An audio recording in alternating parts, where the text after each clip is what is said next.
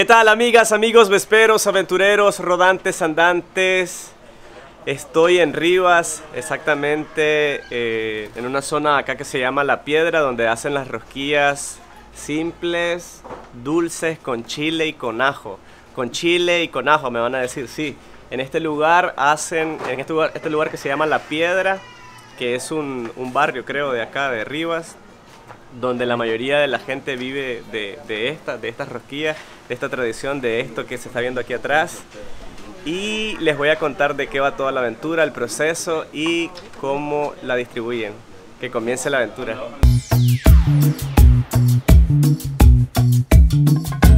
Esto lo inicié este, pues, porque al ver a mis padres pues, que hacían esto, entonces yo aprendí. Entonces al pues venir y tener a mi hijo, entonces yo decidí emprender este trabajo para poder este, mantenerlos pues y darles lo que lo que puedo pues con el, ya con el trabajo lo que nosotros podemos pues de eso los mantengo yo a ellos.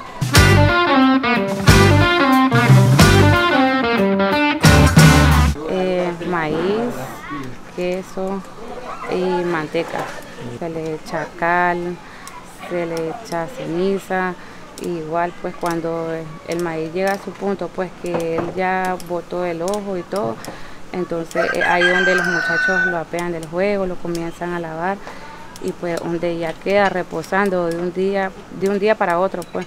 Entonces a este el día siguiente es donde nosotros venimos ya sacamos el maíz de donde está en una pana con agua y lo escurrimos después revolvemos el, el queso con el maíz y después donde se lleva al molino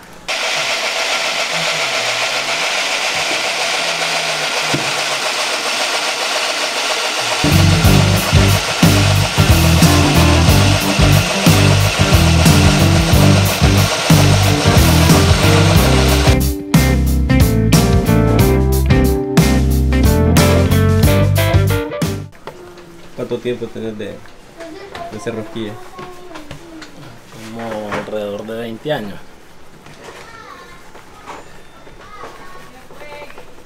¿Quién te enseñó? En mi casa, sí. Ahí aprendí. Ya no hacen en tu casa. Mis hermanas hacen todo. Pero no trabajas con ellas. No. ¿Cuántos sartenes hacen al día? Mm, Bueno, eso es variable. Depende de la cantidad que se trabaje, pero puede ser de que a unos 40 sartenes.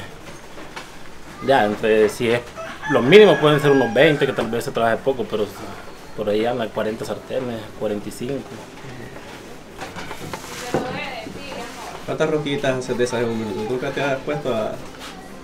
Por minuto. Ah, Por minuto puede ser que tal vez su, su 30 tal vez.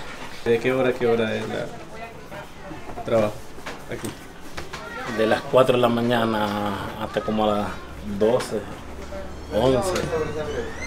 Eso también va en dependencia de la velocidad que lleve uno, pues. La mayoría de las familias viven de esto, ¿ah? ¿O no? Sí, que el barrio más bien casi vive de esto aquí.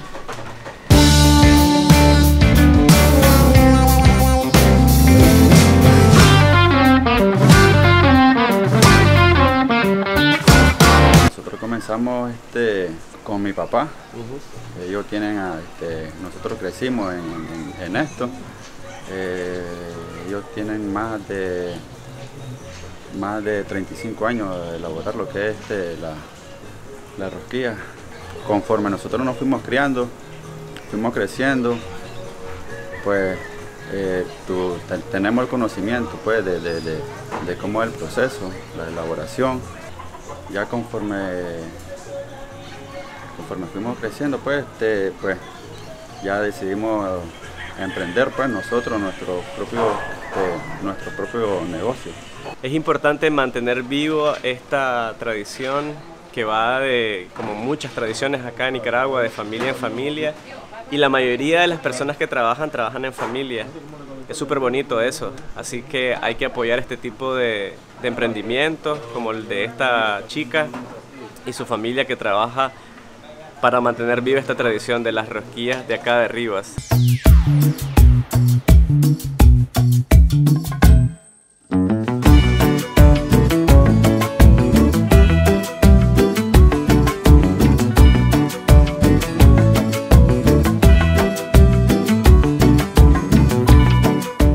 Gusta trabajar en esto?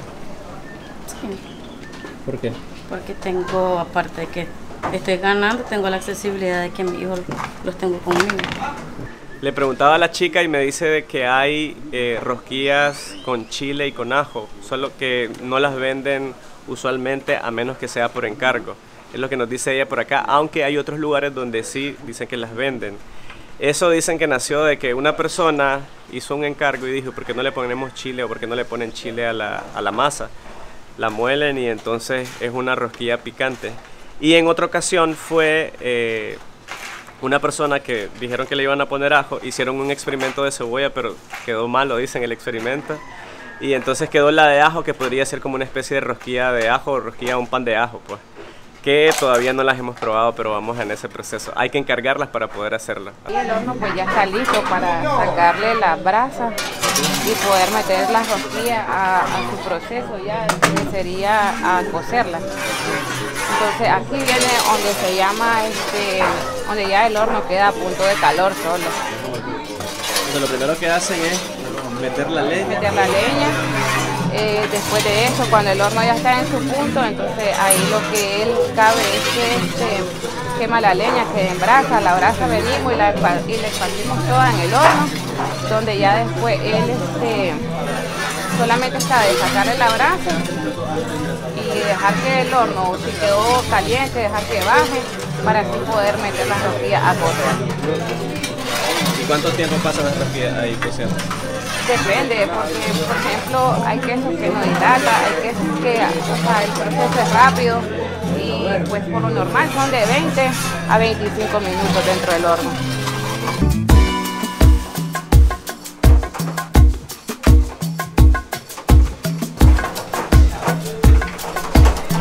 ¿Qué es lo que están haciendo? Bueno, en este momento llenando las chanquetas de azúcar, a los que también le llaman viejitas, proceso que se hace minutos antes de meterlas al horno.